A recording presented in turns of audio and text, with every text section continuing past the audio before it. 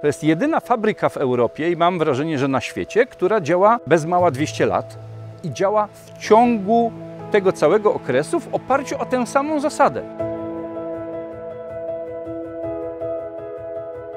Mamy do czynienia z obiektem spektakularnym, wielkim, z budulca, który właściwie nie wydaje się, że może służyć do powstania tak wielkiej budowli, bo to jest drewno. To dawna kasztelonia słońska była miejscem, gdzie rozpoczęły się pierwsze wiercenia i badania źródeł solankowych. W polskich opracowaniach dotyczących budowy tężni brakuje tego miejsca.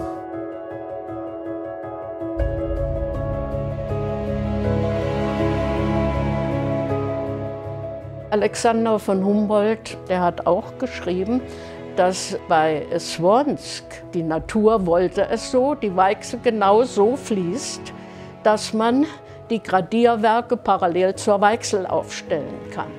Das wäre das günstigste aus Sicht des Windes.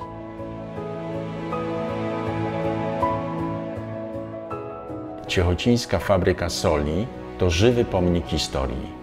Świadectwo transferu wiedzy geologów i górników Europy, ale też dążeń elit polityczno-gospodarczych przełomu XVIII i XIX wieku.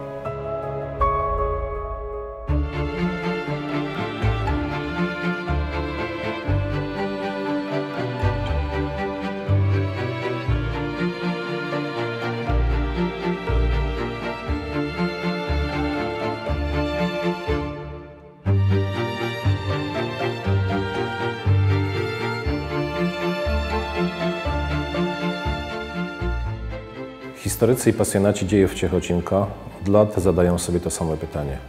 Kiedy rozpoczyna się historia Ciechocinka?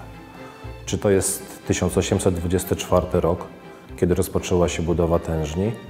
A może wcześniej? Może jest to 1791 rok i tak zwana uchwała solna? A może jest to Konrad Mazowiecki, który w XIII wieku dał krzyżakom prawo ważenia soli na tym terenie? Tych dat w historii Ciechocinka Słońska jest zdecydowanie więcej. Myślę, że już czas, abyśmy historię tego miejsca odkryli na nowo.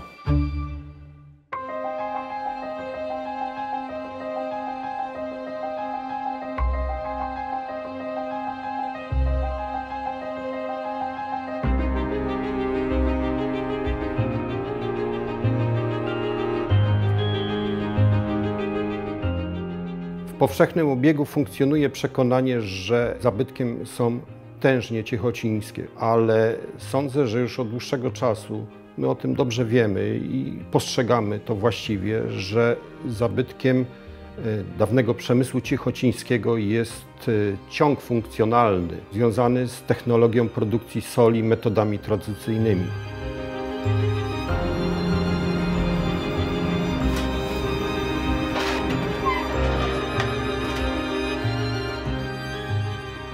Jest to wytwórnia taka bardzo stara, bo 200-letnia. Y, Cykl produkcyjny to dzisiaj nie został zmieniony, tak jak to wymyślono 200 lat temu. Tak do tej pory my to robimy. Wszystko ręcznie, za pomocą tych właśnie takich prymitywnych narzędzi. Nic tutaj nie możemy zmieniać i nie chcemy zmieniać, po to, żeby przetrwało to dla następnych pokoleń i żeby to zachować.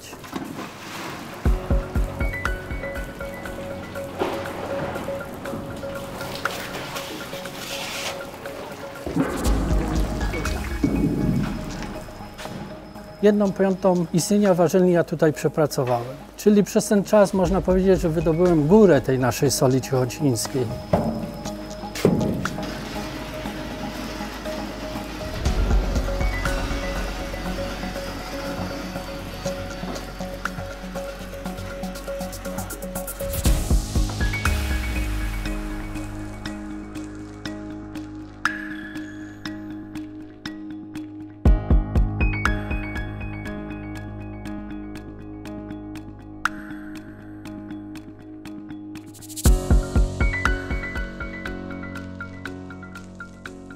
Tu się zmieniła tylko jedna rzecz, że wiatraki, które są do dzisiaj, one nie wkręcają, tak jak pierwotnie, były to formy silników, które wciągały, zasysały solankę na najwyższy poziom, żeby później ją wypuszczać.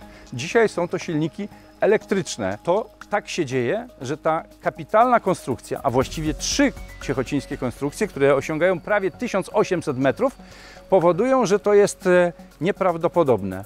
Fabryka działa, a jej środkowa część, bo fabrykę trzeba widzieć od źródła grzybek, gdzie się pozyskuje solankę, przez instalację tężniową aż do warzelni. To jest fabryka, która przemienia rozwodnioną sól, czyli solankę, na sól kuchenną, zresztą znakomitą.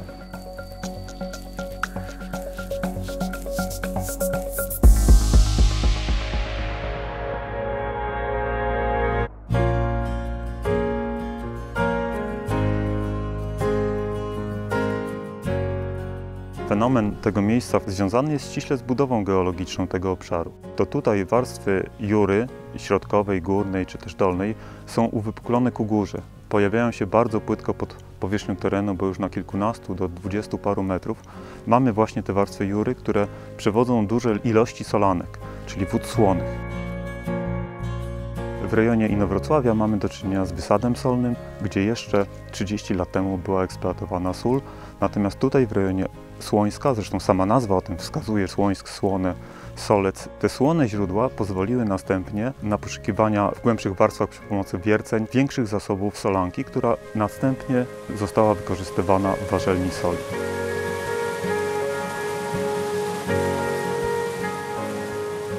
Od pradziejów samowypływ solanek na terenie Słońska był wykorzystywany przez miejscową ludność, ale także był produktem handlu.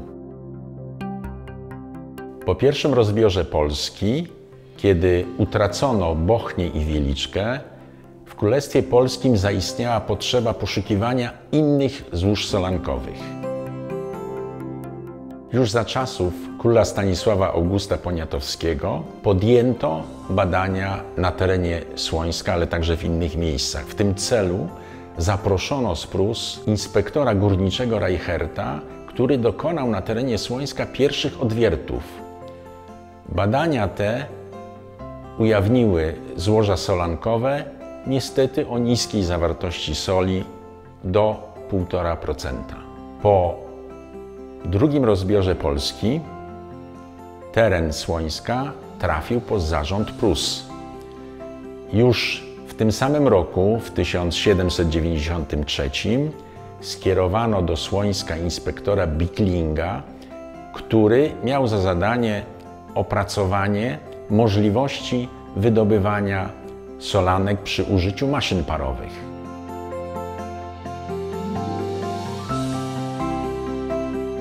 W roku 1794 Aleksander von Humboldt, który odbył podróż halurgiczną do Kołobrzegu, ale także trafił w okolice Inowrocławia, podjął badania na terenie Słońska. Raport Humboldta niestety zaginął. Przez szereg lat w Polsce w ogóle nie było wiadomo o istnieniu takiego raportu. Dopiero Krzysztof Zielnica, polski naukowiec, piszący niestety tylko w języku niemieckim, gdyż jego praca w Polsce nie została doceniona, wspomniał o nim.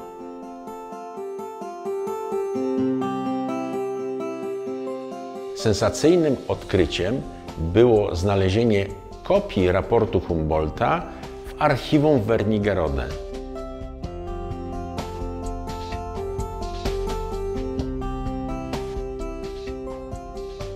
Ingo Schwarz i pani profesor Dagmar Hilsenberg nie tylko odczytali ten raport, ale także dokonali jego głębokiej analizy. To stało się powodem pisania historii Ciechocinka na nowo.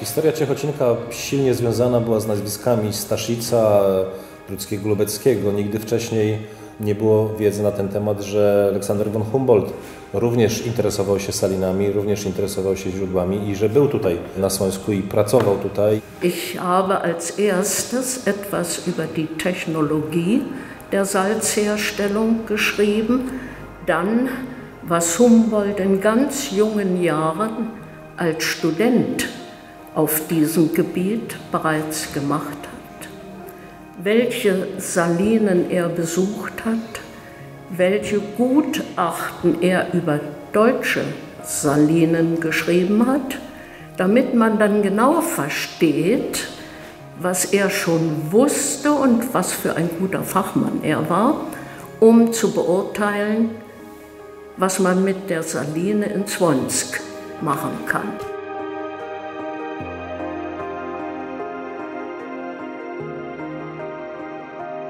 Er schreibt dazu, Sie fangen am alten Weichselufer an, im Tal unfern der Anhöhe von Rationzek, ziehen sich im Bogen erst westlich gegen Wolschewo, dann gegen Swonsk und endlich östlich längs der Bierawa und Weichsel hin.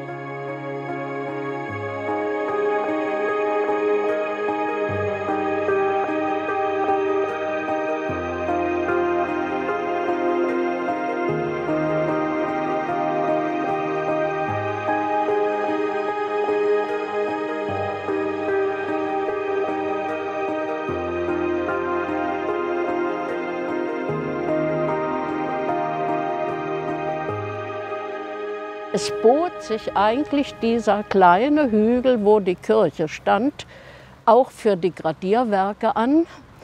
Aber dort hätten 19 Bauern umgesiedelt werden müssen. Und das hielt er für unmöglich. Und er sagte, man kann es auch in der Ebene errichten. Die Gradierwerke stehen sowieso auf Piloten, also auf Pfählen, sodass eine kleine Überschwemmung die Gradierwerke nicht beschädigen würde. Ja, und für eine größere Überschwemmung, da muss man natürlich zwei Dämme errichten. Und diese zwei Dämme hat er ganz genau beschrieben in der Höhe. Die eine Damm, der kürzere, müsste etwa fünf Meter hoch sein und mit verschiedenen verstärkt, damit teurer. Und der viel längere, der weiter südlich installiert werden sollte, wäre nur zwei Meter hoch, könnte ein Erdwall sein und wäre damit nicht so teuer. Das hat also Alexander von Humboldt bereits im Jahr 1794 aufgeschrieben.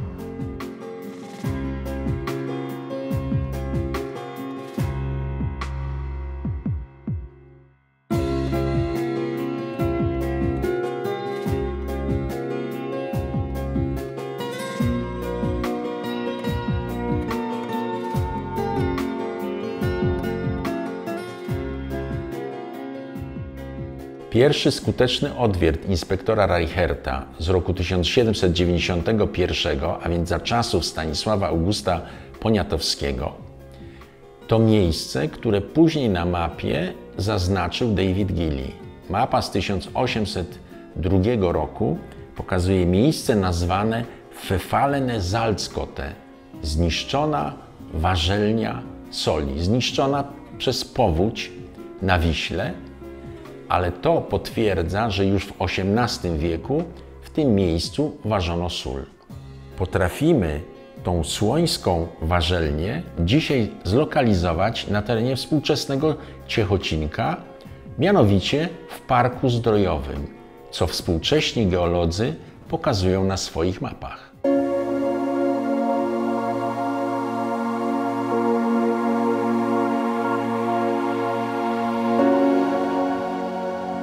Najstarszy otwór rozpoznawczy dotyczący solanek ciechocińskich, który znajduje się w naszych materiałach archiwalnych, został odwiercony w 1798 roku do głębokości 69 metrów. W roku 1806 zostały odwiercone trzy kolejne otwory w okolicy dzisiejszej ulicy Warzelnianej, blisko sanatorium Markiewicz, okolicy dzisiejszego Grzybka oraz najprawdopodobniej na wysokości domu zdrojowego. Die Archivalien bringen das Ergebnis, dass der Salzgehalt 1,5 Prozent war. Das hat Küster festgestellt. Und äh, von Mielensky hat auch niedrige Gehalte, 1,5 Prozent, aber am Ende seiner Bohrungen hat er tatsächlich dreiprozentige Sohle festgestellt. Wenn das bekannt ist, müssten wir rechnerisch ermitteln können, wo der Reichertbrunnen war.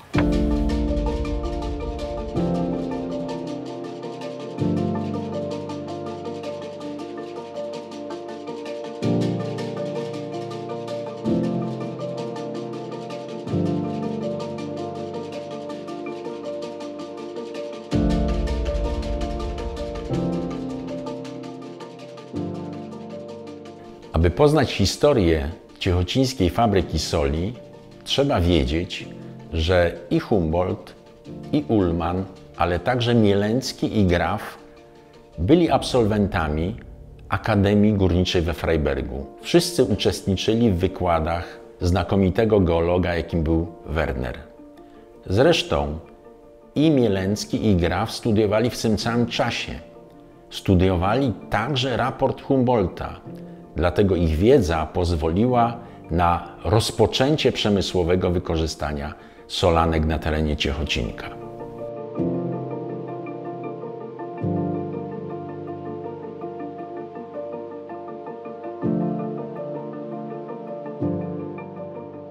Das ist einfache, herkömmliche Technik und wenn ich äh, die einmal projektiert habe, dann kann ich die immer wieder projektieren. Und es kommt eben darauf an, dass ich Menschen zuverlässig ausbilde, dass sie diese Projektion beherrschen und auch den Bau überwachen können. Es ist so, dass der Transfer des Wissens von vornherein in der Ausbildung hier angelegt war, weil die, die in Freiberg studiert haben, die konnten ja hier gar nicht alle arbeiten.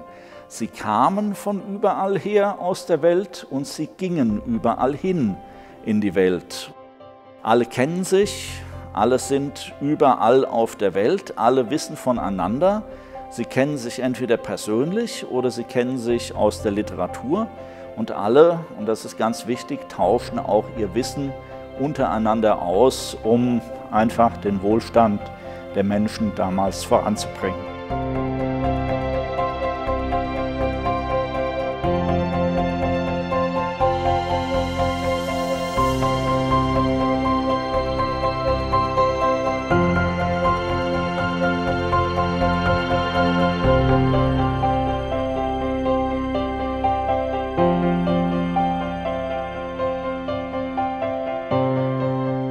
1815 roku, z chwilą powstania Królestwa Polskiego i objęcia zarządu górnictwa przez Stanisława Staszica, następuje wzrost zainteresowania w ogóle surowcami mineralnymi.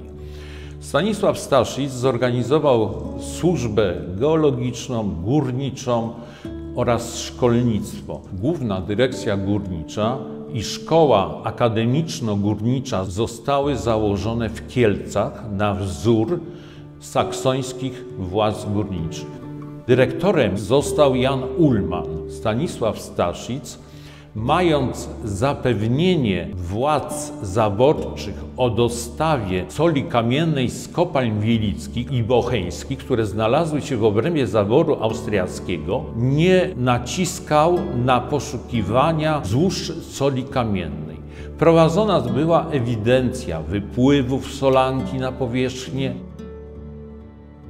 Jan Ullmann i Graf znaleźli się już w 1818 roku w Ciechocinku, w Słońsku, aby ewidencjonować, opisywać miejsca wypływu solanki i proponować następne rozwiązania dotyczące ujęcia i wykorzystania złóż.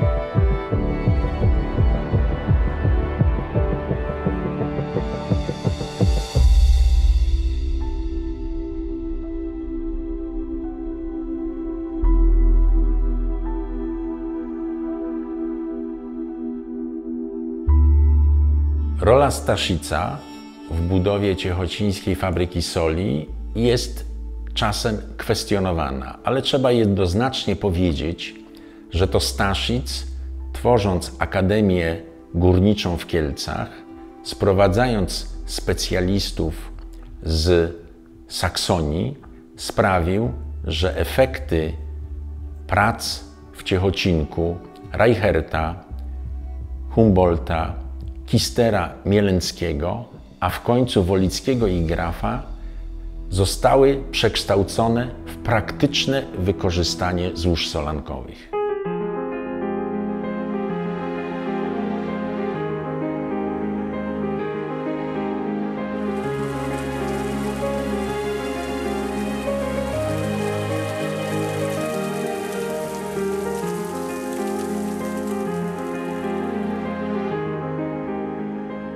W 1824 roku Ksawery Drucki-Lubelski objął zarząd nad górnictwem i hutnictwem Królestwa Polskiego.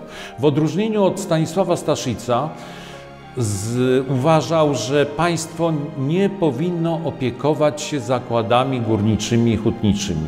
Należy przekazać w ręce przedsiębiorców zarząd nad tymi zakładami i od tych przedsiębiorców wymagać wnoszenia odpowiednich, oczywiście wysokich opłat tytułem wykorzystywania tychże zakładów.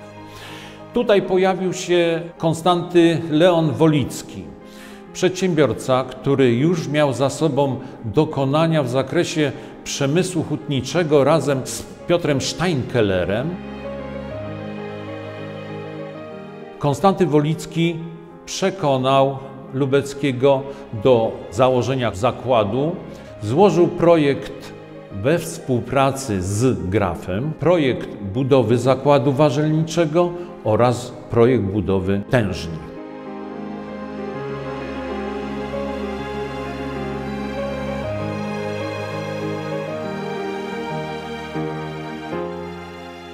W kontrakcie było przewidziane 15 groszy od Cetnara, które będą zyskiem Konstantego Wolickiego. Jako wolny przedsiębiorca wiedział, że ten biznes, ten projekt przyniesie zysk. Podpisał umowę o budowę zakładów warzelniczych i tężni w 1824 roku.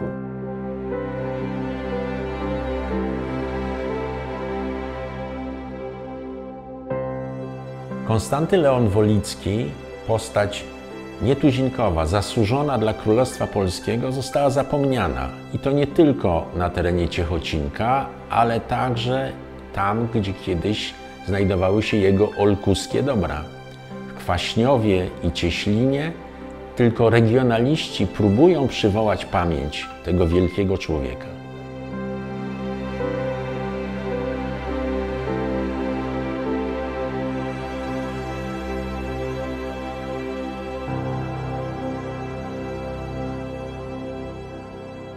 Napotkaliśmy opisy historyczne księdza Jana Wiśniewskiego z roku 1933, które mówią, iż e, Konstanty Leon Wolicki i jego małżonka zostali pochowani w kryptach pod kościołem cieślińskim. Mamy zamiar przywrócić jego historię, jak i pamięć obecnym pokoleniom. Panie tatku, jak jest wentylacja, to na pewno jak jest, to jest w samej górze. A jak jest w samej górze, to jeszcze musi być metr w prawo i metr w lewo. Jak mamy tutaj 2,60, albo metr idzie tam krypta i metr w tą. Ale tu, tu nie mamy krypty. Musi Tu, iść. tu, tu jest samo wejście. Wejście było od tyłu, tak jak mówili, że było pod ławkami. Wejście powietrza. Tak, tylko do przodu trzeba, bo może być od tyłu, tu tak, do przodu. Tutaj już No. jest mur, czyli tutaj już nie ma nic.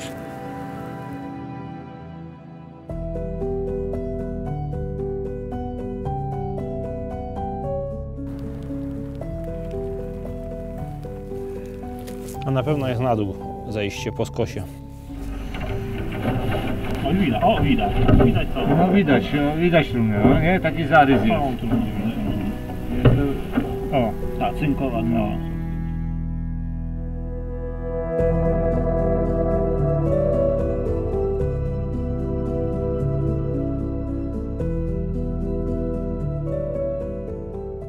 Konstanty Wolicki był postacią tragiczną. Upadek powstania listopadowego zakończył karierę Wolickiego w Polsce.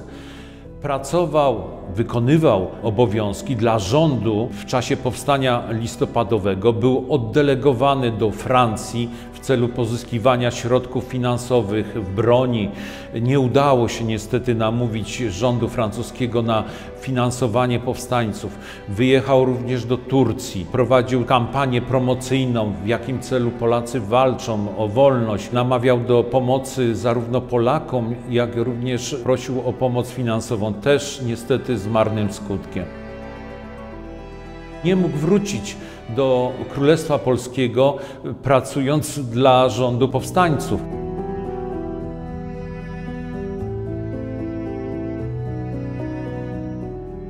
Po powstaniu listopadowym graf przekazał obowiązki Józefowi Tomaszewskiemu, który początkowo był inspektorem, a z biegiem czasu, po objęciu za nadzoru nad górnictwem i hutnictwem w Królestwie Polskim przez Bank Polski, to jest w 1833 roku, został powołany do funkcji naczelnika okręgu północnego z siedzibą w Ciechocinku. Zakłady w Ciechocinku pozostawały pod nadzorem Banku Polskiego aż do 1870 roku kiedy to władze rosyjskie przejęły zakład produkujący sól, jak również uzdrowisko pod swoją jurysdykcję.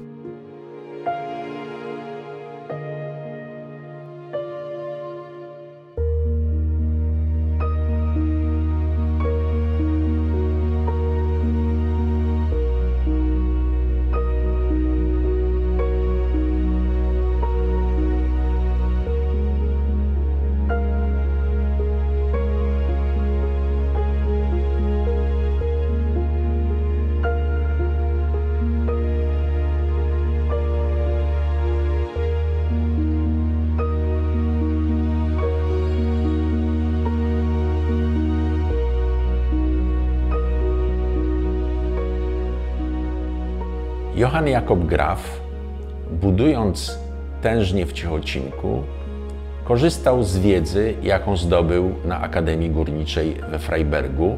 Korzystał także z wielowiekowych doświadczeń z terenu Saksonii, gdzie już od XVI wieku budowano tężnie i warzelnie soli. Przykładem tego są takie uzdrowiska jak Bad Dürrenberg czy Bad Zilza, Ciekawostką jest, że dzisiejszy Bad Dürrenberg jest miastem partnerskim dla Ciechocinka.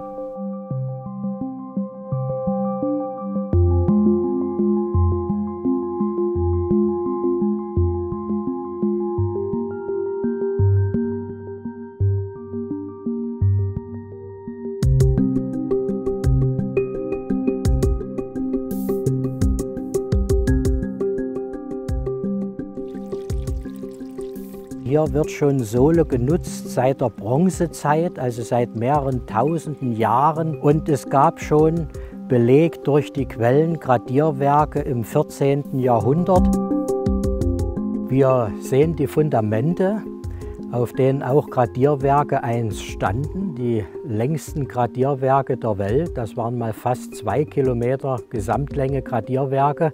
Aus Kostengründen ist zurückgebaut worden und deswegen, heute ist das noch das längste Gradierwerk Deutschlands, steht das längste Gradierwerk der Welt in Tschechocinek. Die Gradierwerke in Bad Dürnberg, die werden ganzjährig rund um die Uhr berieselt mit Sohle und äh, die Sohle, die auch in Tschechocinek lange Tradition hat, ist eine ganz tolle inhaltliche Klammer für eine sehr lebendige Partnerschaft zwischen Bad Dürrenberg und Tschechocinek, die jetzt schon über 25 Jahre dauert und wir hoffen, es kommen weitere 25 Jahre dazu.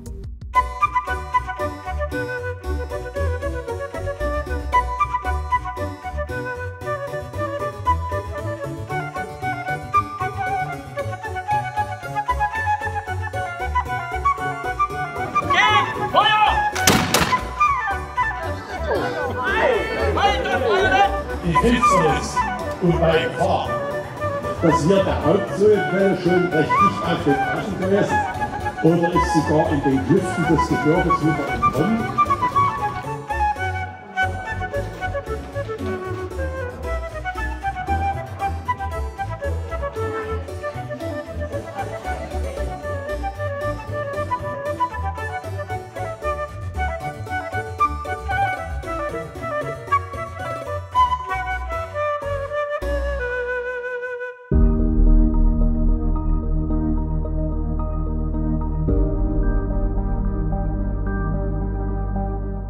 Ciechocinek powstał jako miasteczko produkcyjne, miasteczko przemysłowe, ale bardzo szybko okazało się, że ta funkcja uzdrowiskowa stała się dominująca.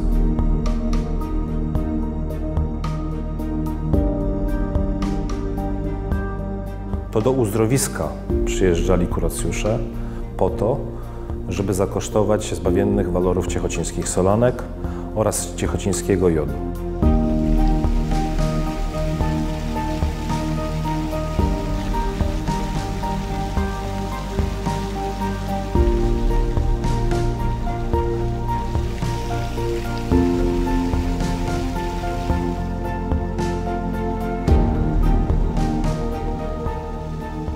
Mamy do czynienia z zabytkiem o niezwykłych wartościach. I to wartościach historycznych i wartościach naukowych. To przede wszystkim z wielu względów. W związku z tym stoimy przed niezwykle ważnym zadaniem, żeby ten zabytek chronić w sposób wieczysty, jak najdłużej się da dotyczących możliwości e, po pierwsze przeprowadzenia badań geologicznych i odwiertów solankowych na terenie Słońska.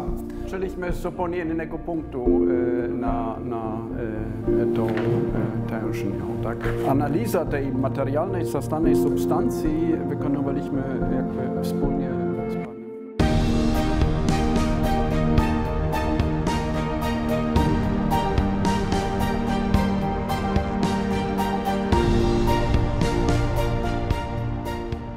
Pamiętajmy, że konstruktorzy i budowniczowie tężni byli ludźmi bardzo świadomymi i wiedzieli, że ważnym elementem pracy tężni, mechaniki produkcji jest energia wiatru i energia słońca. Dzisiaj nie powinniśmy doprowadzać do tego, aby obszar okołotężniowy porastały na przykład nadmierne drzewa, bo one spowalniają nam wiatr a już całkowicie z tego obszaru powinny być wykluczone wysokie budownictwo.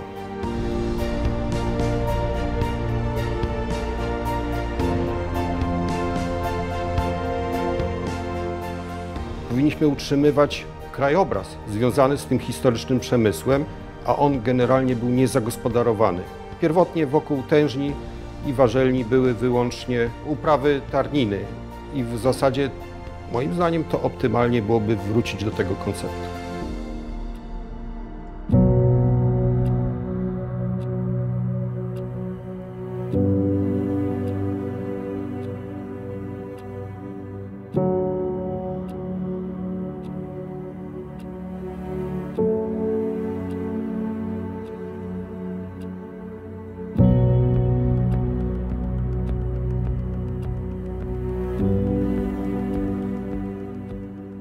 Ich bin das erste Mal in Bad Tschechozinek und begeistert von dem, was ich hier sehe. Dass sie 100 Prozent auf der Basis von Holz entstanden sind, das äh, habe ich mir so gewaltig nicht vorgestellt.